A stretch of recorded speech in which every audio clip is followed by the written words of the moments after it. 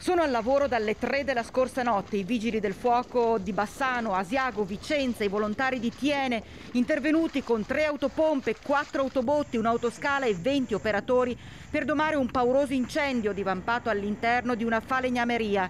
Siamo in via Lazzaretti, a Fosa, sull'altopiano di Asiago. Ingenti danni, ma fortunatamente nessuno è rimasto ferito.